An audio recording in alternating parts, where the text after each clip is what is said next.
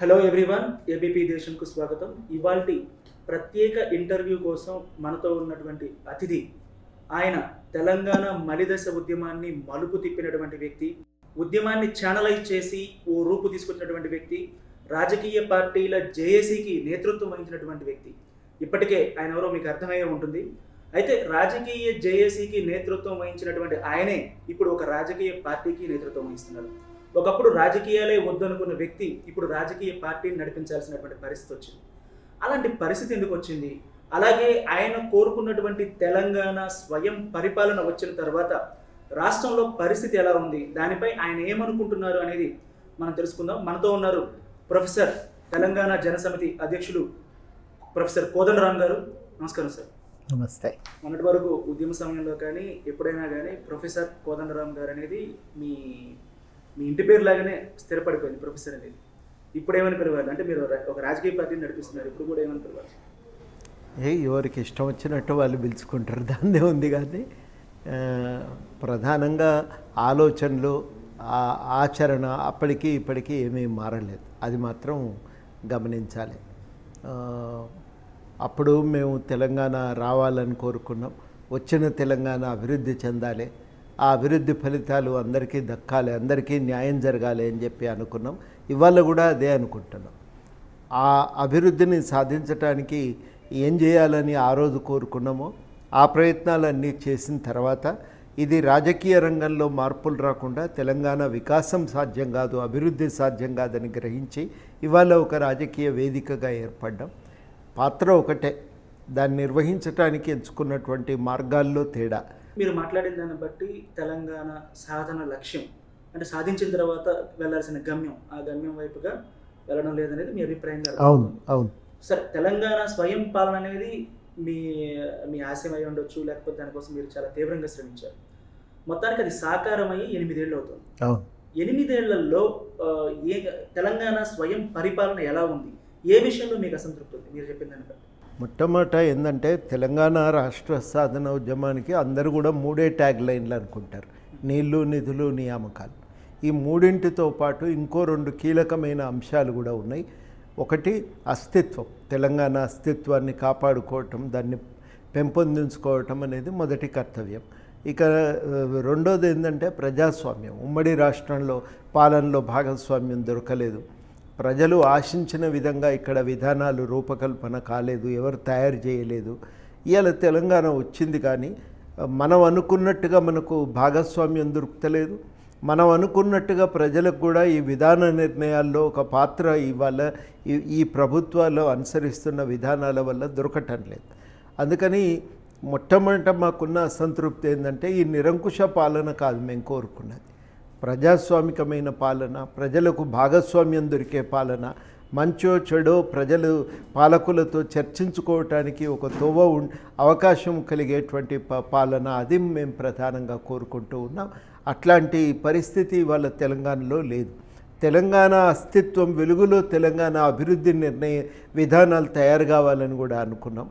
ఈ రెండింటినీ కూడా ఈ ప్రభుత్వం నిర్లక్ష్యం చేయటం ఇవాళ తెలంగాణ ఉద్యమం ఏ ఆశయాలతో ఉద్యమం నడిచిందో ఆ ఆశయాలే ఇవాళ నెరవేరని పరిస్థితి. అంటే ఇప్పుడు మీరు చెప్తున్నటువంటి అభిప్రాయాన్ని జనాభిప్రాయంగా పరిగణించగలమా? తప్పనిసరిగా. జనాభిప్రాయం వేరేలాగా ఉంటుంది. జనాభిప్రాయము వేరే రాగేముండదు కానీ వేరే రకంగా వ్యక్తీకరణ ఉంటుంది మనం అనుకున్న చాలా పదాలు మామూలు జనం నాలుక మీద ఆడే పదాలు ఏం కాదవి. వాళ్ళు ఉపయోగించే పద్ధతులు వాళ్ళకు ఉంటాయి కేసీఆర్ ఇవ్వాలి చెప్తే వినడు అని అంటారు అందరు అంటారు. ఈయన తాను అన్నదే నడవాలని చూస్తాడనేది అంటారు అందరూ. అదేవిధంగా మామూలు జనాల్లో ఉన్న ఆయన ఇంట్లో నుంచి బయటికి రావట్లేదని అంటారు. ఆయన కుటుంబం ఆయన ఇష్టానుసారంగా అధికారాన్ని చెలాయిస్తున్నాడు. ఆయనకు నచ్చినట్టే ఉండాలి. ఎవరు మాట్లాడొద్దు ఎవరు ప్రశ్నించొద్దు అంటే ఎట్లా కుదురుతుంది అది ప్రజాస్వామ్యంలో అట్లా ఉండొద్దు కదా అంటే ప్రజాస్వామ్యం అన్నారు కానీ అట్లా ఉండొద్దు కదా అని అందరు కూడా చెప్తుంటారు మామూలు జనాలు జనాభిప్రాయం అలా ఉన్నప్పుడు ప్రతి ఎన్నికల్లోనూ కేసీఆర్ ఎందుకు గెలుస్తున్నారు? రెండు సార్లు గెలిచారు. చివరికి మొన్నటి ఎన్నికల్లో రెండు వేల పద్దెనిమిది ఎన్నికల్లో కూడా జనాభిప్రాయం చాలా సందర్భాల్లో ప్రస్ఫుటంగా బయటకు వచ్చింది. రోడ్డు మీదకి వచ్చి ధర్నాలు చేసిన వాళ్ళు ఉన్నారు. టీఆర్ఎస్ అభ్యర్థుల మీద గట్టిగా తిరగబడిన వాళ్ళు ఉన్నారు. ఇన్ని జరిగినా కూడా ఎంతమంది ఏకమైనా కూడా కేసీఆర్ గెలిచారు? ప్రజల అభిప్రాయము ఉన్న ప్రజాస్వామ్య పద్ధతులకు ఎన్నికలకు మధ్యన చాలాసార్లు మనం అనుకుంటాం అవి క- ఒకటే వేరు కాదు. ఒకటి లేకుండా ఇంకోటి సాధ్యం కాదు అనుకుంటాం కానీ అట్లా ఉండదు. ఆచరణలో చూస్తే ఏమవుతుందంటే రెండింటి మధ్య చాలా వ్యత్యాసం ఉంటుంది. ప్రజాస్వామ్య పద్ధతుల్లో ఎన్నికలు జరగాలంటే డబ్బులు వాడకూడదు. ప్రజలకు ప్రచారం చేసి ఎవరు మంచిగా పనిచేయగలరని మెప్పిస్తారో వాళ్ళే గెలవాలి. కానీ ఇప్పుడు జరుగుతున్న ఆచరణ చూస్తే ఏంటంటే పైసలు పోసి డబ్బులు పో తాగుడు పోసి తాగించి గెలవటానికి ఓ ప్రయత్నం జరుగుతున్నది. గెలవటం అనేది పెద్ద కష్టమైన పని కాదు. కానీ అట్లా గెలిచే క్రమంలో ఏమవుతుందంటే నువ్వు గెలుస్తున్నావు నిజమే కానీ ప్రజల మనోభావాలను గుర్తి వాటికో గుర్తింపు ప్రజల సమస్యల పరిష్కారానికి మనము ఒక విధానము తయారు చేయవలసిన బాధ్యతను గుర్తింపు ఇవి ఉండట్లేదు. అవి ఉండకపోయే వరకు ఏమవుతున్నదంటే ప్రజలు ఆకాంక్షలు వాళ్ళ ఆకాంక్షలు ఒక దారిలో పోతుంటే ప్రభుత్వం పాలన ఇంకో దారిలో పోతున్నది. ఈ ఈ రెండింటికి మధ్యన దూరం పెరుగుతున్న కొద్దీ అది నష్టం చేస్తుంది. అది నష్టం చేస్తుంది రాజకీయ స్థిరత్వాన్ని దెబ్బతీస్తుంది. ప్రజాస్వామ్యంలో మనకున్నది ఒకే ఒక పద్ధతి. అది ఎన్నికలే. ప్రజామోదం ఉందా లేదా పరిపాలన అనేది ప్రజామోదం లేకపోతే పరిపాలనకి ప్రజామోదం లేకపోతే ప్రజలు ఎందుకు గెలిపిస్తున్నారు అనేదే ప్రశ్న. మరి అంతకు మించి వేరే మార్గం లేదు కదా సార్. మీరు అన్నది నేను ఒప్పుకుంటా. ఆ మాత్రం మద్దతు దొరుకుతున్నదంటే ఎంతో కొంత మద్దతు ఉన్నట్టే. ఎంతో కొంత మద్దతు ఉన్న మాట వాస్తవము. ప్రత్యామ్నాయమే లేదు. ఇక మనకు తెలంగాణకి ఇవ్వాలి ఇది ఒకటే ఉన్నదిగా అనే రూపంలో దాన్ని చూడటము ఇది రెండు వేరే విషయాలు. ప్రజాకాంక్షలకు వ్యతిరేకంగా వెళ్తోంది అన్నారు. ఏ పరిస్థితుల్లో ఏ ఏ సందర్భాల్లో వ్యతిరేకంగా వెళ్ళింది మీరు? ఏ ఉదాహరణకి ఉద్యోగాలు రాక పిల్లలు ఆత్మహత్యలు చేసుకుంటున్నారు. తెలంగాణ ఉద్యమమే అభివృద్ధి కోసం ఉద్యోగాల కోసం జరిగింది. మీరు ఉద్యోగాల కల్పన చేయలేకపోతున్నారు. అదేవిధంగా తెలంగాణ ఉద్యమమే ఆంధ్ర నిరంకుశ పాలనకు పెత్తనానికి వ్యతిరేకంగా సాగింది. తెలంగాణ ఏర్పడితే అట్లా ఉండదు. ప్రభుత్వం మన కోసం పరిపాలన చేస్తుంది అని ఆశపడ్డాం. ఆ రకమైన పరిస్థితులు లేవియాల మూడో తెలంగాణ వస్తే తెలంగాణ అస్తిత్వం విరాజిల్లుతుందని. కొంతమేరకు జరుగుతున్న మాట వాస్తవమే కానీ ఆ అస్తిత్వం అనేది తెలంగాణ అభివృద్ధికి ప్రాతిపదిక కావాలి. అదే పునాది కావాలి. అట్లా అయితలేదు. నీళ్ళు నిధులు నియామకాలు తెలంగాణ మీరు ఇచ్చింది జేఏసీ ఇచ్చిందో లేకపోతే టీఆర్ఎస్ పార్టీ ఇచ్చింది. ఇచ్చినటువంటి నినాదం తెలంగాణ సహకారం కోసం ఆ ఆ నినాదంతో వెళ్ళారు. ఈ మూడు విషయాలని పరిగణలోకి తీసుకుంటే నీళ్ళు కాళేశ్వరం ద్వారా ఇప్పుడు పారుతున్నాయని చెప్తున్నారు. నిధులు అనేది తెలంగాణ నుంచి వచ్చినటువంటి నిధులన్నింటినీ కూడా తెలంగాణలోనే ఖర్చు చేస్తున్నారు. నిధుల వినియోగం పెరిగింది అంటున్నారు. నియామకాల విషయంలో ఇది డిబేట్ చేయాల్సినటువంటి విషయం. ఇది తప్ప ఈ- ఈ మూడు విషయాల్లో అభివృద్ధి జరగలేదంటారు. ఇప్పుడు నిధులు ఉన్నాయి. ఆ నిధులు తెలంగాణ అభివృద్ధి కోసం ఉపయోగపడాలి. తెలంగాణ అస్తిత్వాన్ని పెంపొందించడానికి ఉపయోగపడాలి. తెలంగాణలో ప్రజాస్వామ్యం బలపడటానికి ఉపయోగపడాలి. ఉపయోగపడతలేవు. అది మొదటి సమస్య. ఈ నిధులు అనేవి గుప్పెడు మంది ఆంధ్ర కాంట్రాక్టర్లకు మేలు చేసే విధంగా ఉపయోగపడుతున్నాయి. వాళ్ళ కోసం భూములు సేకరించి పెట్టడం కోసం మాత్రమే ఉపయోగపడుతున్నాయి. అడ్డగోలుగా రైతుల నుంచి భూములు గుంజుకుంటున్నారు. ఎవరికి తెలంగాణలో వాటి వల్ల కలుగుతున్న ఉపాధి లేదు బట్ ఎవరికి నౌకర్లు దొరుకుతలేవు. కానీ వాస్తవానికి అన్ని నిధులు మనం ఖర్చు పెట్టి ఒక్క కాళేశ్వరమే పూర్తి చేసినాం. చాలా పూర్తి కావాల్సి ఉండే క కలోకుర్తి పూర్తి కావాల్సి ఉండే నెట్టెంపాడు భీమా అదేవిధంగా మనకు పాలమూరు రంగారెడ్డి ఎత్తిపోతల పథకము ఇవన్నీ పూర్తి కావాల్సి ఉండే అవన్నీ పూర్తి కాలేదు. చాలా జిల్లాలకు ఇవాళ ఉన్నటువంటి ఈ ఏర్పాట్లో నీటి సౌకర్యం వచ్చే అవకాశం కూడా లేదు. చాలా లోపాలు ఉన్నాయి. ఆ వచ్చిన డిజైన్ వల్ల కాళేశ్వరం మీద ఇంత పైసలు ఖర్చు పెట్టి మనం వాస్తవానికి వర్షాకాలం నీళ్ళు తోడుకోలేం. ఆ నీళ్ళు కిందికి జారిపోవలసిందే. కిందికి ప్రవహించిన అది సముద్రంలోకి వెళ్ళిపోవలసిందే. కాబట్టి ఇన్ని పైసలు పోసి ప్రాజెక్టు కట్టిన తర్వాత నీళ్ళు తెచ్చుకోలేకపోతున్నాము. ఒక్క నీరు కూడా లేని పరిస్థితుల్లో భూములన్నీ ఎండిపోతున్నటువంటి పరిస్థితుల్లో ఎంతో కొంత ప్రాజెక్టుని ఇంతవరకు ఉమ్మడి ప్రభుత్వంలో తెలంగాణ ప్రాజెక్టుల మీద తీవ్ర నిర్లక్ష్యం ఉన్నటువంటి పరిస్థితుల్లో ఇంత ఖర్చు పెట్టి ఒక ప్రాజెక్ట్ని పూర్తి చేసినా కూడా విమర్శలు చేస్తున్నారు. నీళ్ళు కొంతవరకు అంటే మీరు వాళ్ళు ఊహించినంత కాకపోయినా ఎంతో కొంత తెల కాళేశ్వరం ద్వారా మంచి జరిగింది లేకపోతే పంటలు పండాయి. ఇంత జరిగినా కూడా ఎందుకు విమర్శిస్తున్నారు అనేటువంటి అభిప్రాయాలు ఎంతో కొంత నీళ్ళు ఆగినాయి అంటే కరెక్టే. గోదావరిలో ఇప్పుడు ఎప్పుడు పోయినా నీళ్ళు కనబడుతున్నాయి అనేది కరెక్టే. దానివల్ల మత్స్య సంపద పెరుగుతున్నది అనేది కరెక్టే. కానీ మనము అసలు లక్ష్యం ఏంది? నూట అరవై టీఎంసీలు తోడుకోవాలి. ఆ నూట అరవై టీఎంసీలు తోడుకోలేకపోతున్నామని చూడకపోతే ఎట్లా? అదే మౌలిక లక్ష్యం కదా. అసలు అదే మనం నెరవేర్చలేని పరిస్థితి అయితే ఆ తో ఆ ప్రాజెక్టులోనే ఆ అంతర్గతంగా దానికి ఓ పరిమితి ఉంది. నువ్వు నీళ్ళు నిలుపుతున్నావు నిజమే.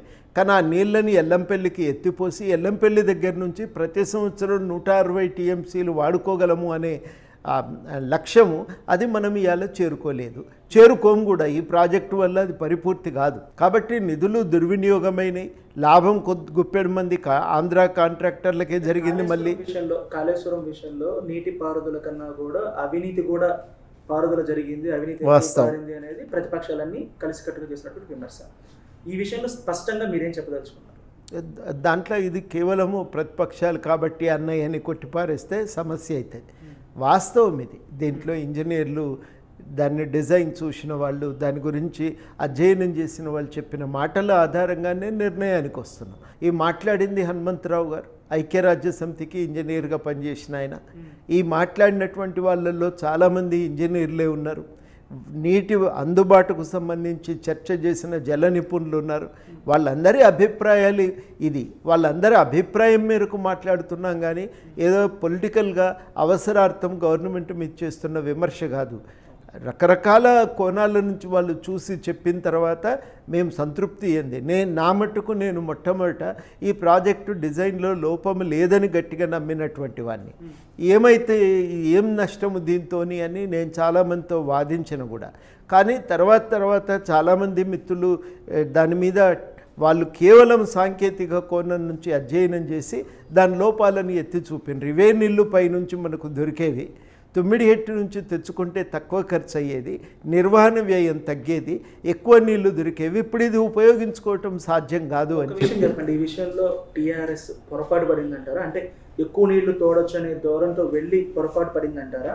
లేకపోతే ఎక్కువ డబ్బులు వేరే వాళ్ళకి ఇవ్వచ్చు లేదా ఎక్కువ లాభం సంపాదించుకోవచ్చు అనే విషయంలో వెళ్ళిందంటారా? మీరు ఏదున్నా మొట్టమొదట టీఆర్ఎస్ ఆలోచించింది ఏంటంటే ఇది మేము కట్టిన ప్రాజెక్ట్ అనే పేరు రావాలని చూసింది. కాబట్టి పాత దానికి కొనసాగింపుగా జరిగింది కానీ ఇది కొత్తది ఏం కాదు. ఇందులో టీఆర్ఎస్ గొప్పతనం ఏముంది? కాంగ్రెస్ వాళ్ళే మొదలుపెట్టింది వాళ్ళు పూర్తి చేసిండ్రు అనేది. కాబట్టి ఒకటి ప్రతిష్ట కోసం చేసింది ఉంది. రెండోది కాంట్రాక్టర్లకు దీనివల్ల లాభం చేకూర్చే ప్రయత్నం కూడా జరిగింది. రెండు వాస్తవాలే. ఎక్కువ ఖర్చు పెడితే ఎక్కువ నిధులు ఖర్చు పెడితే ఎక్కువ కమిషన్ వస్తుందనే ఉద్దేశం కూడా ఉందా? ఉంది తప్పకుండా. ఎక్కువ నిధులు ఖర్చు పెడితే కాంట్రాక్టర్లకు ఎక్కువ లాభాలు వస్తాయి మనకి ఎక్కువ కమిషన్ వస్తుంది. దాన్ని మా ఆధారంగా ఒక రాజకీయాల్లో ఒక పట్టును సంపాదించుకోవాలనే తాపత్రయం. అది దీని వెనకాల ఉన్న స్కీమ్ ఇది. ఇంతకుముందు మీరు ఒక మాట చెప్పారు. ఉమ్మడి ఆంధ్రప్రదేశ్లో ఆంధ్ర కాంట్రాక్టర్లో లేకపోతే ఎవరో దోపిడీ జరిగింది దోచుకున్నారని. ఇప్పుడు మీరు చెప్పిన లెక్క ప్రకారం అయితే అప్పుడు ఆంధ్ర పాలకులు ఇచ్చి ఉండొచ్చు లేదా వాళ్ళే దోచుకుని ఉండొచ్చు. మరి ఇప్పుడు ఆ లెక్క ప్రకారమే ఆంధ్ర వాళ్ళకు ఆంధ్ర కాంట్రాక్టర్లకు లేదా ఆంధ్ర వ్యాపారులకు ఈ ప్రభుత్వమే దోచిపెడుతుంది అని చెప్పొచ్చు. అంతే. నూటికి నూరు రూపాయలు వాస్తవం. అది చేయవలసిన అవసరం లేదు. నేను అందుకనే పదే పదే తెలంగాణ అస్తిత్వం అనే మాట వాడుతున్నా. ఒకటి తెలంగాణ సంస్కృతికి తెలంగాణ చరిత్రను దృష్టిలో పెట్టుకొని ప్రాజెక్టులను డిజైన్ చేయటం ఇక్కడ భౌగోళిక పరిస్థితులను దృష్టిలో పెట్టుకొని డిజైన్ చేయటం.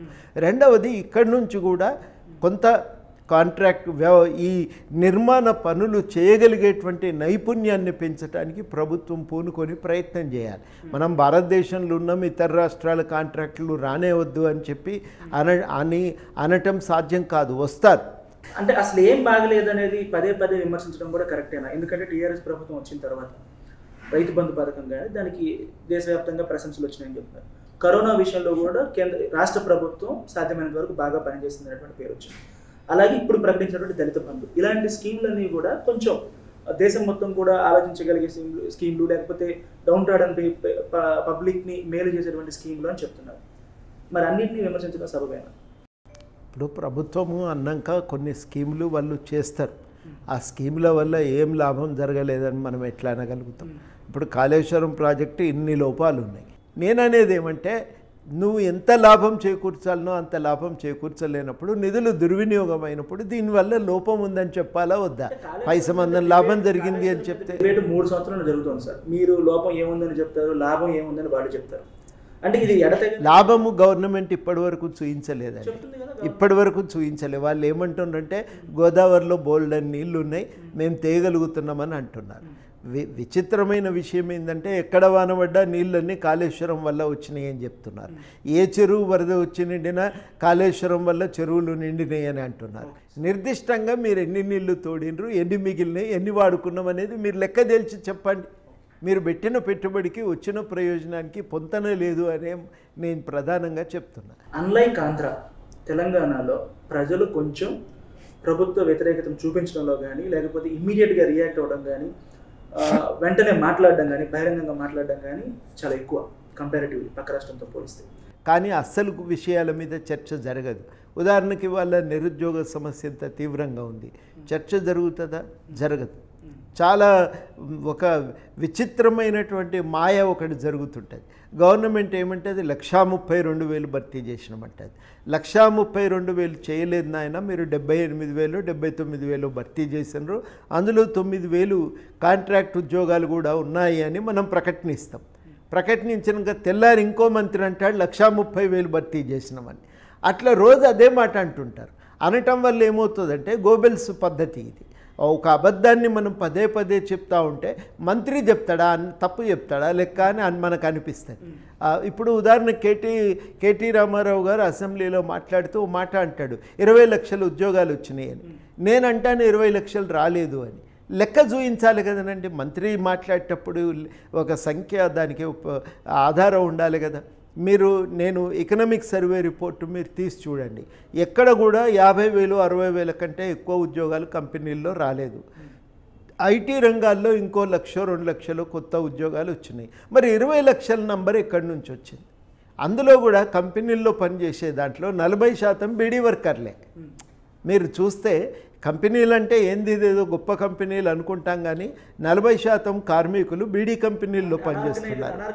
అనార్గనైజ్ మీరు రైస్ మిల్లులు స్టోన్ పాలిషింగ్ యూనిట్లు రియల్ ఎస్టేట్ కంపెనీలు ఇవి మన దాంట్లో వీళ్ళు చూపిస్తున్నది అత్యధిక భాగం ఈ రంగాల్లో తక్కువ జీతాలకు పనిచేసేటువంటి వాళ్ళు. కానీ నువ్వు ఇరవై లక్షలని పదే పదే అంటావు. నేను ఇవన్నీ చెప్పినాక మీరు తెల్లారి మీలాంటి వాళ్ళు వచ్చి ఏమంటారంటే మన మంత్రి కదా ఇరవై లక్షలు లేందే అంటాడా? అని మీరు అంటారు నేనేమనాలి అది కాదయ్యా అని. కాళేశ్వరం ప్రాజెక్టు కంటే పాత తుమ్మిడి హెట్టు వల్ల ఎక్కువ లాభం జరిగేది. తక్కువ ఖర్చుతో తక్కువ నిర్వహణతో నీళ్ళు ఎత్తుకునే అవకాశం ఉండేది. మీరు అంటారు ఏం లాభం లేదా? అని మీరు అంటారు అంటే పదే పదే చర్చ ఏమవుతున్నదంటే మనము జరగవలసిన పద్ధతుల్లో కాకుండా ఒక అబద్ధాన్ని నిజం చేసే పద్ధతుల్లో చర్చ జరుగుతుంది. వాస్తవిక నీ గణాంకాలు చూపించంటే ఒక్క పుస్తకంలో గణాంకాలు చూపించారండి రెండు వేల ఇరవై తర్వాత రాష్ట్ర ప్రభుత్వం గణాంకాలు అచ్చేయటం ఆపేసిందిగా. వీళ్ళు ఏం మాట్లాడితే గదే గణాంకం అవుతుంది రాష్ట్ర ప్రభుత్వం విపరీతంగా అభివృద్ధి చెందుతున్నది. మీకు ఇది కనబడతలేదా అని కాగితమ్మను ముందు పడేస్తారు. మీరు ఈ కాగితం తీసి చూస్తే ఉంటుంది. జీడిపి ఇట్లా పడిపోతుంది. ఇట్లా పడిపోతుంది అని మనం అంటే దేశ స్థాయి జీడిపి కంటే మనది ఎక్కువ లేదని అంటారు. ఓ బె ఒక రో- ఓ ఇంచు పైన ఉంటుంది మనది లైను. అది చూయించి దానితోని మనల్ని సంతృప్తి పడమని అంటారు. ఎందుకు ఇది పడిపోయింది రాష్ట్రంలో? ఈ పడిపోయిన దాన్ని ముందుకు పైకి తీసుకెళ్ళటానికి ప్రభుత్వం ఏం విధానాలను తయారు చేస్తుంది? చర్చ ఉండదు. రాష్ట్రం వచ్చిన తర్వాత ప్రభుత్వం ఏదైనా ఒకేలాగా ఉంటుంది ప్రభుత్వం ఫంక్షనింగ్ అంతకుముందు ప్రభుత్వం అయినా ఇప్పుడైనా ఒకేలాగా ఉంటుంది లోపాలు ప్రతి దాంట్లోనూ ఉంటాయి. కానీ అన్నిటికంటే మీ పెద్ద ఆకాంక్ష స్వయం పాలన కావాలి మీ పరిపాలన మీకు ఉండాలి అనేది. ఇప్పుడు ఎన్ని లోపాలు జరిగినా అది నెరవేరింది మీకు. ఆ నెరవేరడంలో మేజర్ క్రెడిట్ ఎవరికి దక్కుతుందంటారు?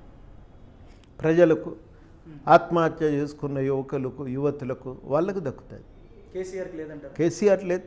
ఆయన ఆయన అస్సలే లేదని నేను అనను కానీ ఆయనది కాదు. మొదటి పాత్ర ఫస్ట్ ఆత్మహత్య చేసుకున్న యువకులకు యువతులకు చెందుతుందండి. అరే వాళ్ళు ప్రాణాలను వదిలిపెట్టిండ్రు. శ్రీకాంతాచారి. తెలంగాణ సాధనలో ప్రధానమైన పాత్ర కేసీఆర్ది. కేసీఆర్ వల్లే తెలంగాణ సాధ్యమైంది అనేటువంటిది జనంలో అందరిలో ఉన్నటువంటి అభిప్రాయం. అది నిజం కాదా? మీరు అందరని ఎందుకంటారండి? అది టీఆర్ఎస్ పార్టీ చేసే ప్రచారం. ఆయనకు ముందు శూన్యం వెనక శూన్యం ఇంకా అంతా అంధకారమే. ఆయన ఒక్కడే నిత్యమై సత్యమై వెలిగిండు అని మీరు చెప్తే ఎట్లా ఎట్లా కుదురుతుంది? అట్లా కుదరదు అది? మన రాష్ట్రంలో కాదు సార్ అంటే తెలంగాణలో కాదు పక్కనే ఉన్న రాష్ట్రాల్లో ఇక చెప్పేది advertisement ఇచ్చేది ఉన్నటువంటి రాష్ట్రాల్లో కానీ తెలంగాణ సాధకుడు కేసీఆర్ అడ్వర్టైజ్మెంట్ ఇచ్చేది ఎవరు? గవర్నమెంట్ ఇస్తుంది. మరి దేనివల్ల తెలుస్తున్నది? గవర్నమెంట్ ఇస్తున్నది. వాళ్ళ వాదం ఉంది సంఘాల్లో ఉంది లేకపోతే బయటికి వినిపించలేని స్థాయిలో ఉంది. కేసీఆర్ రెండు బయటికి వినిపించలేని స్థాయిలో లేదు. పార్టీ పెట్టాకే తెలంగాణ వాయిస్ అన్ని చోట్ల వినిపించింది అనేది ఆయన ఇప్పుడు ఆయన వచ్చినాక ఆయన వంతు పాత్ర ఆయన పోషించండు. కానీ నేను పుట్టినాకనే తెలంగాణ పుట్టిందంటే కరెక్ట్ కాదు. అంతకుముందు అరవై తొమ్మిది ఉద్యమకారులు ఉన్నారు. అంతకుముందు చే సంఘాలు పెట్టి ప్రచారం చేసిన వాళ్ళు ఉన్నారు. కాలికి బల్పం కట్టి ఊరూరు తిరిగిన వాళ్ళు ఉన్నారు. వాళ్ళందరి పాత్ర గుర్తిస్తే వాళ్ళు చేసిన పునాది మీద నువ్వు పార్టీగా ఏర్పడగలిగినావు. దాన్ని కొనసాగింపుగా నువ్వు తెలంగాణ నినాదాన్ని రాజకీయ రంగంలో తీసుకుపోగలిగినావు. అవి ప్రజా సంఘాలు. ప్రజల్లో వ్యాప్తి చేయగలుగుతాయి. రాజకీయ రంగంలో నినాదాన్ని వ్యక్తీకరించి రాజకీయ రంగంలో దానికి ఒక స్థానాన్ని సంపాదించడంలో తప్ప టీఆర్ఎస్ పాత్ర ఉంది. లేదని ఎవరో మనం?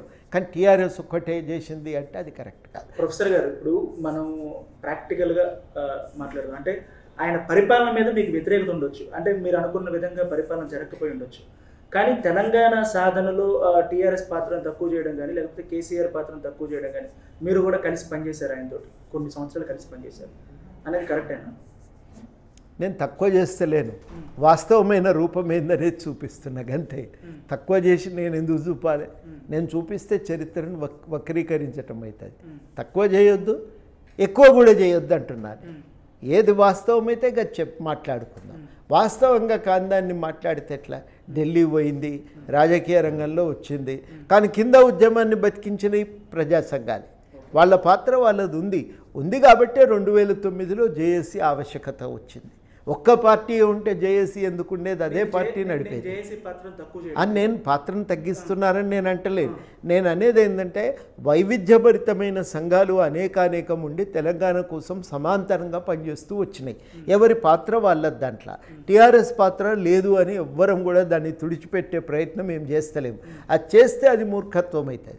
వాస్తవం వాస్తవంగా అంగీకరించాలి. కేసీఆర్ లాంటి చరిస్మాటిక్ లీడర్ లేకుండా ఉండుంటే ఉద్యమం ఆ రూపు తీసుకునేది లేకపోతే అంత బలంగా వాయిస్ వినిపించేది లేదా కేంద్రం దాన్ని గుర్తించేది అనేది మనం అనుకోగలం. తప్పనిసరిగా తెలంగాణ వాదం అంటే మీరు రెండు వేల తొమ్మిదిలో టీఆర్ఎస్ ఎన్నికల తర్వాత టీఆర్ఎస్ స్థానం ఏందండి? దాదాపు ముగిసిపోయింది. మరి ముగిసిపోయిన తర్వాత మళ్ళీ ఉప ఎన్ని ఉప ఎన్నికల్లో రెండు వేల ఎనిమిది. రెండు వేల తొమ్మిది సార్వత్రిక ఎన్నికల్లో కూడా టీఆర్ఎస్ దాదాపు దెబ్బ విపరీతంగా దెబ్బతిన్నది. దెబ్బతిన్న తర్వాత తెలంగాణ వాదం ఎట్లా బతికిందండి? మళ్ళీ అప్పటికి ఇక ఆ వైఎస్ రాజశేఖర రెడ్డి గారు మరణం చెందటము అప్పుడు వచ్చిన ఆ వ్యాక్యూమ్లో మళ్ళీ తెలంగాణ వాదం పికప్ కావటానికి అప్పటికి ఇంకా ప్రజా సంఘాలు బయట బతికుండి చేస్తున్న కార్యాచరణ ఇవన్నీ ఉపయోగపడ్డాయి. తెలంగాణ కోసం ఢిల్లీ దాకా వెళ్ళి పార్లమెంట్ ఎదురుగా ఆత్మహత్య చేసుకున్నారండి. ఆ పార్లమెంటులో మా తెలంగాణ వాస్తవం చూడండి అని ఎత్తి చూపటం కోసం ఆ పని చేసినటువంటి వాని పాత్ర లేదంటమా? వీళ్ళే ఒక రాజకీయ జేఏసీగా అన్ని పార్టీలు అందులో ఉన్నప్పటికీ మేజర్ రోల్ ప్లే చేసినటువంటి టీఆర్ఎస్తో పాటు ప్రభుత్వం ఏర్పాటైన తర్వాత టీఆర్ఎస్తో గ్యాప్ ఎక్కడ వచ్చింది ఎందుకు ఎందుకు వచ్చింది? గ్యాప్ ఎందుకు వస్తుందంటే మేమేమి రాజ రాజకీయాల్లో పోదలుచుకోలేదు కాబట్టి గవర్నమెంట్లో చేరలేదు. అయితే మేమేం కోరుకున్నామంటే ప్రజల తరఫున ప్రజల సమస్యలు లేవనెత్తడానికి ఒక పౌరవేదికకు ఎప్పుడు కూడా ఒక అవకాశం ఉండాలి ప్రజాస్వామ్యంలో అని మేము నమ్మినాం. అట్లాంటి పోరాటం చేసిన వాళ్ళు అయితే మౌనంగా ఉన్నారు లేకపోతే అధికార పార్టీల్లో చేరిపోయినారు కొత్త రాష్ట్రాలు ఏర్పడిన సందర్భాల్లో. అందువల్ల నష్టం జరిగింది. మన దగ్గర ఆ నష్టం పునరావృతం కావద్దు. మనం నిలబడాలి. తెలంగాణ సమస్యలు లేవనెత్తాలి. లేవనెత్తి వాళ్ళకు న్యాయం జరిగేటట్టు చూడాలి అని మేము అనుకున్నాం. ఈ ప్రభుత్వం ఏమనుకున్నదంటే ఏది చేసినా మేము చేస్తాం మాకు తెలిసిన కాడికి మేము చేస్తాం కానీ మీరు ఎవరు మాట్లాడొద్దు అని. అసహనాన్ని ప్రదర్శించింది. మీరు మీరు ఉండటానికే వీల్లేదు మీరు మాట్లాడటానికే వీల్లేదనే అసహనాన్ని ప్రదర్శించింది. ఆ అసహనము ప్రదర్శించి దాడి చేయటం మొదలుపెట్టిండ్రు అరెస్ట్ చేయటం మొదలుపెట్టిండ్రు. అంటే రెండు విషయాలు సార్. ఒక వ్యక్తిగా కోదండరామ్ అనే వ్యక్తిని దూరం చేయాలని అనుకున్నారా? లేకపోతే జేఏసీ అనేటువంటి ఒక ఆర్గనైజేషన్ ఉంటే పార్టీకి ప్రత్యామ్నాయం అవుతుంది ఒక వేదిక అవుతుంది ఒక వాయిస్ అవుతుంది అనేటువంటి ఒక భయపడి దాన్ని దాన్ని అణచడం కోసం ప్రయత్నం జరిగింది. దాన్ని అణచాలని అసలు మొత్తానికే నిరసనకే వేదికలు లేకుండా చేయాలనేది అది గవర్నమెంట్ చేసిన ఎత్తుగడ. అది జ- ఆ కోణం నుంచి జేఏసీ అనే దాన్ని దెబ్బ కొడితే ఈ నిరసనకి ఇంకా వేదికలు లేకుండా పోతాయని. గవర్నమెంట్ అనుసరించిన వ్యూహాల్లో అదొక భాగం కీలక భాగం. ఎవరినైనా కలుపుకొని పోగా అవకాశం ఉంటే కలుపుకొని పోదాం. ఇది వాళ్ళు వేసుకున్న దాంట్లో రెండవ ఎత్తుగడ. ఒక పర్సనల్ ఇష్యూ కూడా ఉంది. కోదండరామ్ గారికి రాజకీయ పార్టీ టికెట్ ఆఫర్ చేస్తున్నారు లేకపోతే పార్టీలో చేరమంటేనో ఆయన దూరంగా ఉన్నారు. ఆయన టీఆర్ఎస్లో చేరలేదు. దానివల్లే గ్యాప్ వచ్చిందనేటువంటి అభిప్రాయం కూడా ఉంది. నేను చేరలేదు. చేరటం ఇష్టం లేదు. బయట ఉంటే స్వతంత్రంగా కొన్ని విషయాలైనా చెప్పవచ్చు అని. చెప్తూ వచ్చినాం కదా. చెప్తూ వస్తే ఇంత అసహనం ఎందుకండి? ఇప్పుడు కారణం ఏమవుతుందంటే ఒక రకమైన నాజీ సిద్ధాంతాన్ని కేసీఆర్ గారు నమ్ముతారు. ఇప్పుడు మాకు అధికారం ఇచ్చిండ్రు. ఇక మాకు అన్నీ వదిలేయాలి. మీరు సంపూర్ణంగా మాకు దాసోహం అయ్యి ఉండాలి. అప్పుడు లొంగి ఉంటే మేము మాకు తోచినట్టుగా మేము చేస్తూ ఉంటాం మీరు చూస్తూ ఉండాలి. నచ్చితే పాలాభిషేకాలు చేయక చేయాలి. నచ్చకపోతే మౌనంగా ఉండాలి. అంతే తప్ప కానీ ఊరికే విమర్శలు చేసి మాకు అడ్డం రావద్దు. అడ్డం వస్తే సహించేది లేదు. ఇగో ఇది వారి దృక్పథం. నాజీయిజం లేకపోతే అహంకారమైనా లేకపోతే నిరంకుశమైనా. ఇవన్నీ కూడా స్వాభావిక లక్షణాలు. అవినీతి అనేది జనరల్గా ప్రభుత్వం వచ్చిన తర్వాత అవకాశం వచ్చాక ఎవరైనా చేస్తారు. ఏ ప్రభుత్వంలో జరుగుతుంటుంది. కానీ ఈ లక్షణాలు అనేవి స్వాభావిక లక్షణాలు అనేవి అధికారం ఉన్నా లేకపోయినా ఒకేలాగా ఉంటాయి మరి కేసీఆర్తో అన్నేళ్ళు ట్రావెల్ చేసిన మీకు ఆ లక్షణాలు ముందు కనిపించలేదు ఎందుకు? తప్పనిసరిగా మేము చూసినాం. కానీ ఆ రోజు తెలంగాణ అవసరాల్లో మన మనకుండేటువంటి అంచనాలు ఏవైనా అభిప్రాయాలు భే భేదాలు ఏవైనా కలిసి నడవవలసి నడవ నడవటం అనేది చాలా అవసరం. అందుకని తెలంగాణ సమాజం ఐక్యంగా నిలిచింది. ఐక్యంగా నిలిచింది. కానీ ఒక విషయాన్ని ఏం గ్రహించినామంటే ఈ పోరాటం ఇంతటితో ఆగదు. తెలంగాణ ఏర్పడిన తర్వాత ఈ అభివృద్ధి కోసం ఇంకో పోరాటమే నడవలసి వస్తుందని. నేను అనలేదు ఈ మాట. స్వయంగా ప్రొఫెసర్ జయశంకర్ గారు అన్నారు. దానికోసం మీరు నిలబడాలయ్యా కొట్లాడాలయ్యా అని పదే పదే ఆయన చెప్తూ వచ్చారు. ఆ చెప్తూ వస్తూ ఉండటం వల్ల మేము బయటనే నిలబడి ఈ ప్రజల ఆకాంక్షల వ్యక్తీకరణకి మనవంతు ప్రయత్నం మనం సీరియస్గా చేద్దామని ఒక నిర్ణయానికి వచ్చి మా ప్రయత్నాన్ని మేము కొనసాగిస్తాం జయశంకర్ గారు ప్రస్తావన ఒకవేళ జయశంకర్ గారు ఇప్పుడు ఉండుంటే ఎలా ఫీల్ అయ్యేవారు ఇప్పుడున్న పరిస్థితి? మౌనంగానన్నా ఉండిపోయేవాడు లేకపోతే గట్టిగా తిరగబడి తప్పయా ఇట్లా జరిగేది లేకుండే అని అనేవాడు. కానీ ఆయన మాత్రం ఎండార్స్ చేయటం ఆమోదించటం చేసి ఉండేవారు కాదు. తెలంగాణ ఏర్పాటు అయిన తర్వాత అంటే రాష్ట్రం ఏర్పాటైన తర్వాత ఏం మారుద్ది? మహా అయితే ముఖ్యమంత్రి మారుతారు. లేదా మంత్రి పదవులు ఉమ్మడి రాష్ట్రంలో కంటే తెలంగాణలో తెలంగాణ వాళ్ళకి మంత్రి పదవులు కొన్ని ఎక్కువ వస్తాయి. పరిపాలన విధానం సిస్టమ్ అంతా ఒకేలాగా ఉంటుంది అప్పటికి ఇప్పటికి ఏం మారింది అని మీరు అనుకుంటున్నారు? ఏం మారినప్పుడు ఈ రాష్ట్రం దేనికోసం చేశారు అనుకో ఇప్పుడు ఒకటి ఏ ఏ రాష్ట్రమైనా ఎందుకు అడుగుతామంటే అప్పటి వరకు ఉన్న రాష్ట్రంలో భాగస్వామ్యం దొరకనప్పుడు అభివృద్ధిలో వాటా దొరకనప్పుడు ఆ అభివృద్ధి ఆ రాష్ట్రంలో ఇంకా సాధ్యం కాదు అని నమ్మినప్పుడు ప్రత్యేక రాష్ట్రం అడుగుతాం. అది తప్పదు. ఇప్పుడు ఇన్నింటి నడుమ నేను చెప్తున్నా మేము ప్రత్యేక రాష్ట్రంగా ఉండాలనే కోరుకుంటాం. అది మాకు అవసరం. ఆ- అవసరము మేము అది దాటినాం కాబట్టి ఇవాళ తెలంగాణ అభివృద్ధి గురించి ఇన్ని మాట్లాడుకోగలుగుతున్నాం. ఇంత చర్చ చేయగలుగుతున్నాం. అటు నిలబడి ఈ పరిపాలన చేస్తున్న తప్పును తప్పుగా చెప్పి తెలంగాణ అవసరాల రీత్యా ప్రత్యామ్నాయంగా జరగవలసింది ఏందని చెప్పగలిగే శక్తి అయినా ఇవాళ తెలంగాణ ప్రజలకు ఉంది ఆ భాగస్వామ్యం దొరికేది కాదు ఈ మేరకైనా కానీ అది చాలా చాలా ఇంపార్టెంట్ అండి. ఈ అస్తిత్వ పరిరక్షణ సాధ్యమయ్యేది కాదు. ఇవన్నీ కూడా చాలా కీలక పరిణామాలు. అయితే అప్పట్లో ఎక్కువగా చెప్పింది వనరుల దోపిడీ. తెలంగాణ వనరుల దోపిడీ జరుగుతోంది బయట ప్రాంతం నుంచి అన్నారు ఇప్పుడు వనరుల దోపిడీ ఆగిందా? తప్పనిసరిగా తెలంగాణ గోదావరి నీళ్ళు తెలంగాణకు దక్కుతాయి. కృష్ణ నీళ్ళు కృష్ణవి తెలంగాణ వాటా తెలంగాణకు దక్కుతుంది ఒక రాష్ట్రంగా ఆస్కారం ఉంటుంది కదా. ఇప్పుడు తెలంగాణలో ఏం ఖాళీలు వచ్చినా తెలంగాణ పిల్లలు ఆ ఉద్యోగాలను సంపాదించడానికి అవకాశం దొరుకుతుంది. చాలా విషయాల్లో ఒక భాగస్వామ్యం దొరుకుతుంది కదనండి లేకపోతే అది సాధ్యం కాదు కదా. ఇప్పుడు కోదండరామ్గా మీరు ఒక పార్టీని స్థాపించి ఒక పార్టీ వేదిక ద్వారా కేసీఆర్ మీద మాట్లాడుతున్నారు.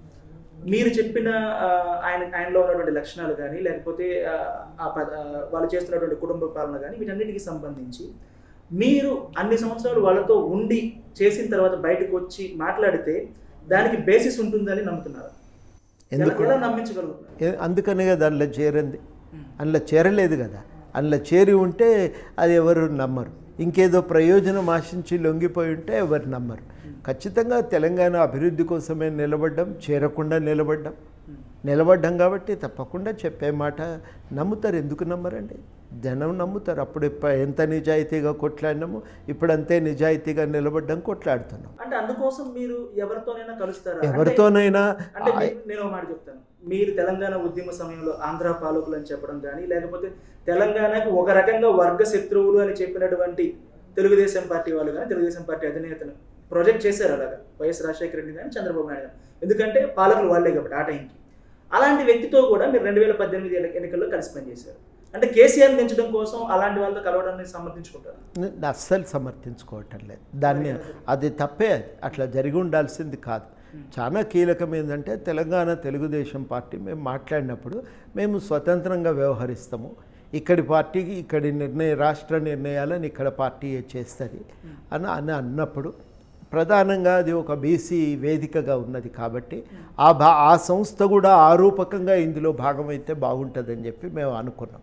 కాబట్టి ఒక బీసీ నాయకత్వానికి కూడా మనం ఒక ప్రాముఖ్యత దొరుకుతుంది తెలంగాణలో అని ఆశ.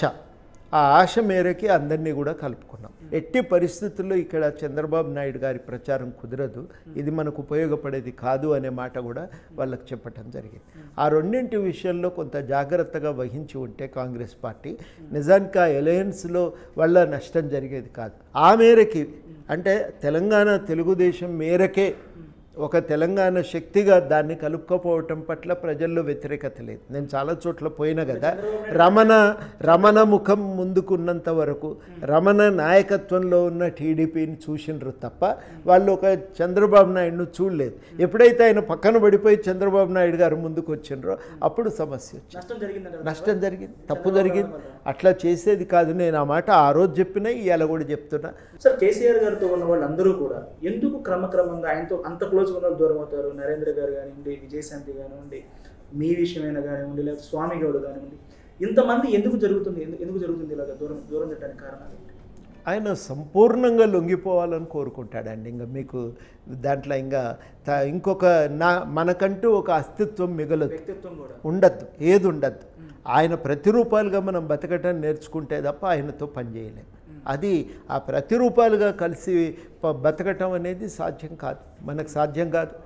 తెలంగాణ కోసం కొట్లాడిన తర్వాత అనేక సమస్యల పరిష్కారం కోసం తెలంగాణ ఒక మార్గం కాగలదు అని నమ్మిన తర్వాత వాటి గురించి లేవనెత్తవలసి వస్తుంది.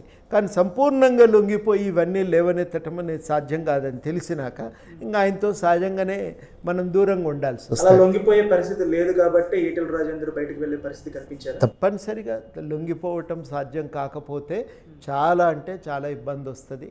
ఆయన ఇక సహించడు. ఎప్పుడో ఒకప్పుడు బయటికి పంపించే ప్రయత్నం శత్రువుగా చూసి దాడి చేయటం ఎదుటి వాళ్ళని పోయిండు బయటికి అని వదిలిపెట్టాడు. ఇక ఉండద్దు. మళ్ళీ ఈ విషయంలో కూడా హిట్లర్ లాగానే వ్యవహరిస్తాడు. ఇక ఇంకొక ఆస్తి నేను ఉండాలి. నేనంటేనే జా జర్మన్ జాతి. నేను ఉండాలి. నా తర్వాత ఇంకా ఏది ఉండటానికి వీలు లేదని నమ్మేటువంటి వ్యక్తి ఆయన. ఆయన ఈతో సంపూర్ణంగా ఆయనను స్వీకరించటం కనీసం హిట్లరు జర్మన్ జాతి అన్నాడు. ఈయనకి లేదు ఆయనను సంపూర్ణంగా స్వీకరించాలి. ఆయనను స్వీకరించకపోతే ఆయన ఆయనకు ప్రతిరూపాలుగా బతకటానికి ఇష్టం లేకపోతే బయట ఉండనీయడిగా దాన్ని సంపూర్ణంగా నాశనం చేయాలని ప్రయత్నం ఆ విషయంలో ఇంకా హిట్లర్ కన్నా ఒక జర్మన్ జాతి అనే తపన ఉండే. ఈయనకు అది కూడా లేదు. తాను తన అస్తిత్వము తన ఆధిపత్యం తప్ప ఇంకోటి ఉండదు. ఈటెల రాజేందర్ విషయంలో ఏం జరిగింది అసలు? ఏం జరిగింది ఏం జరిగిందో మనకు తెలియదు. ఆయన చెప్పిన దాని ప్రకారం అప్పుడు ఇప్పుడు ఏదో ఒకటి మాట్లాడుతూ ఉండేవాడు అదే సహించనట్టు ఉన్నదని అనిపిస్తుంది. అంతకంటే వేరే కారణం ఏం లేదు. రాజకీయ విషయాలు ఏమున్నా సరే టీఆర్ఎస్ పార్టీ బయటికి అంటే ప్రభుత్వం టీఆర్ఎస్ పార్టీ ప్రభుత్వం బయటికి చెప్పింది ఈటెల రాజేందర్ అవినీతి చేశారు అవినీతి అనేది ప్రొజెక్ట్ చేశారు. అవినీతి విషయంలో ఒక డిస్మిస్ చేసినప్పుడు అవినీతి విషయంలో పక్కకి తప్పించినప్పుడు దాన్ని తప్పు అని ఎలా చూస్తాము రాజకీయ పరంగా జరగలేదు. నువ్వు అవినీ- ఆ- అవినీతిని మనం సహించకూడదు కదా అవినీతిని అవినీతిని సహించొద్దు. ఎవరు అవినీతికి పాల్పడినా చర్యలు తీసుకో. ఇప్పుడు భూమి ఆక్రమించుకున్నాడని జనగామ ఎమ్మెల్యే మీద కంప్లైంట్ వచ్చింది. చర్య తీసుకో. ఒకవేళ కేటీ రామారావు మీదనే ఆరోపణలు వస్తాయి అదే రకంగా వ్యవహరిస్తావా? వచ్చినాయి కదా. రేవంత్ రెడ్డి చేశారు కదా. చేసిండు కదా. కానీ ఆ దాని మీద నువ్వు ఎందుకు స్పందించలేదు. కాబట్టి ఏంటంటే ఇవన్నీ నువ్వు ఒక మిషగా ఒక సాకుగా వాడుకుంటున్నాడు తప్ప అది లక్ష్యం కాదు. తెలంగాణ గడ్డ మీద మరో కొత్త పార్టీ రెండు మూడు నెలల క్రితం ప్రారంభమైంది. వాళ్ళు ఎవరైతే మీరు ఆంధ్ర పాలకులు అన్నారో లేకపోతే ఎవరైతే తెలంగాణ వనరులను దోపిడీ చేశారన్నారో వాళ్ళ వారసులే స్టార్ట్ చేశారు. తెలంగాణ ఆకాంక్షలు నెరవేరుస్తున్నామని చెప్తున్నారు. ఒక రాజకీయ పార్టీగా అంటే కేసీఆర్కి వ్యతిరేకంగా ఉండే అందరితో కలుస్తామని మీరు చెప్పారు. మరి ఆ పార్టీని కూడా స్వాగతిస్తారా? లేదండి మేము ఎందుకంటే ఆ, జగన్ తెలంగాణలో అడుగు పెడతానన్నప్పుడు కొట్లాడి ఆరుగురు మీద కాల్పులు జరిగితే గాయాలైనాయి. అవన్నీ మాకు గుర్తున్నాయి. తెలంగాణ స్వీయ రాజకీయ అస్తిత్వాన్ని మేము కోల్పోవటానికి సిద్ధంగా లేం. దాన్ని వదులుకోవటానికి సిద్ధంగా లేం. మొట్టమొదటిది. రెండు తెలంగాణ ఉద్యమం అనేది అనేక మంది పిల్లల బలిదానాల పునాదుల మీద ఏర్పడినటువంటి ఉద్యమం రాష్ట్రం ఇది. ఆ పిల్లల ఆకాంక్షలు నెరవేర్చటము ఆ ఉద్యమ క్రమాన్ని అర్థం చేసుకోవటము చాలా చాలా కీలకం. వాటిని అప్పుడు ఆ క్రమాల్లో దానికి అడ్డం పడి ఇయ్యాల నేను తెలంగాణ అంటే మేము ఎట్లా నమ్మగలుగుతాం? నేను నేను ఆమె ఎక్కడ పుట్టిందనేది ఇంపార్టెంట్ కాదు. ఆ- ప్రయాణంలో మీరు ఎక్కడున్నారనేది చాలా కీలకం. నేను చాలా చాలా స్పష్టంగా చెప్తున్నా మనుషులు ఎక్కడ పుట్టిండ్రు అనేది ముఖ్యం కాదు. ఆర్ నారాయణమూర్తి గారు ఎక్కడ పుట్టిండ్రండి? ఆంధ్ర కానీ ఆయన తెలంగాణ కోసము నిర్ణయం తీసుకున్నాడు మద్దతు ఇచ్చిండు.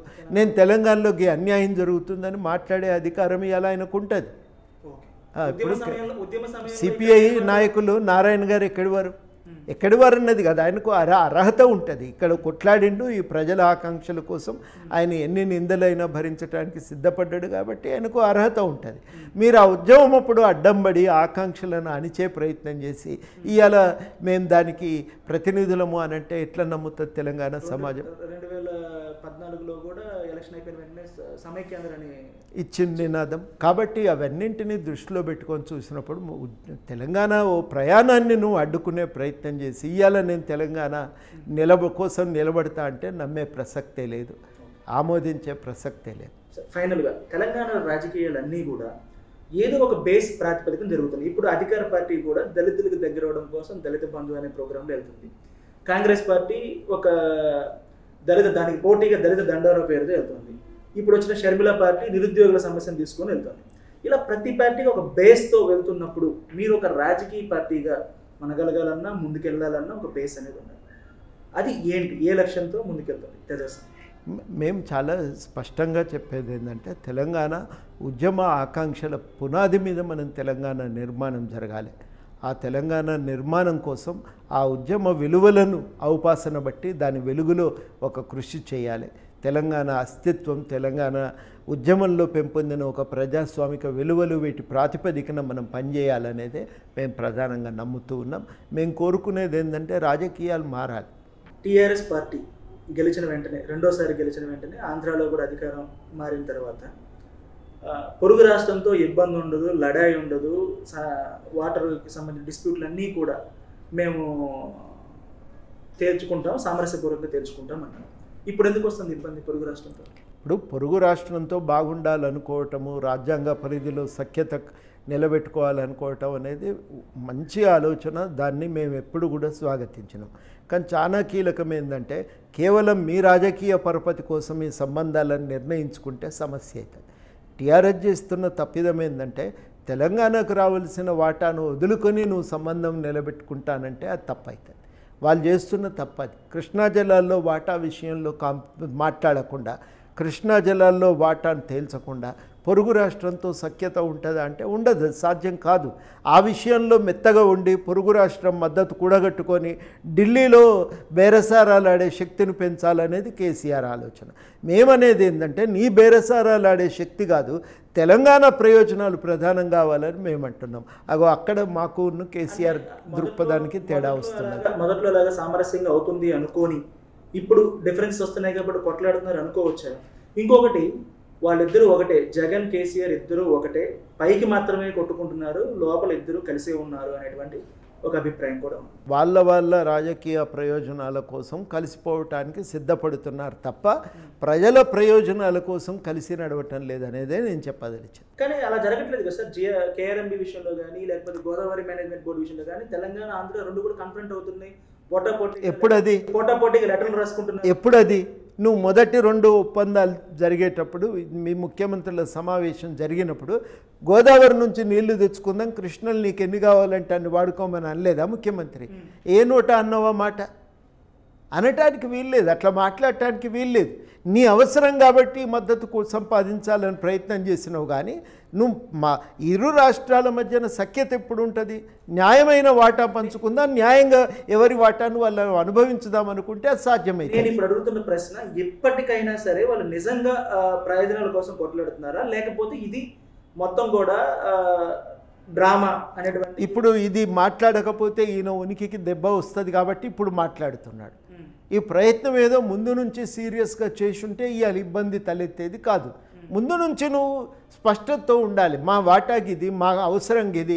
మేము ఈ విషయంలో మాత్రం మేము కాంప్రమైజ్ ఎలక్షన్ టైంలోనే ఎలక్షన్ టైంలోనే పక్క రాష్ట్రంతో గొడవ పెట్టుకోవడము లేకపోతే పక్క రాష్ట్రంతో గొడవ పడుతున్నట్లుగా ఒక స్టేట్మెంట్ ఇవ్వడము చేస్తుంటారు కేసీఆర్ అనేది. అంటే రాష్ట్ర ప్రయత్నాల కోసం ప్రయత్నం చేస్తున్నామని చెప్పడం కోసం ఇలా చేస్తుంటారు అనేది ఆయన ఆయన చేస్తున్నాడు. నేను మళ్ళీ మళ్ళీ చెప్తున్నా ఆయన తన అవసరము తన రాజకీయ ప్రయోజనమే తప్ప కానీ తెలంగాణ ప్రజల ప్రయోజనం ప్రాతిపదికన ఆయన వ్యవహరించాడు. అదే మేము చెప్తున్నాం కదా ఇప్పటికి కూడా నీళ్ళ విషయంలో నువ్వు కొట్లాడతలేవు. కొట్లాడుతున్నట్టు నటిస్తున్నావు అనేది తెలంగాణ ప్రజల అభిప్రాయం. Thank you sir Thanks.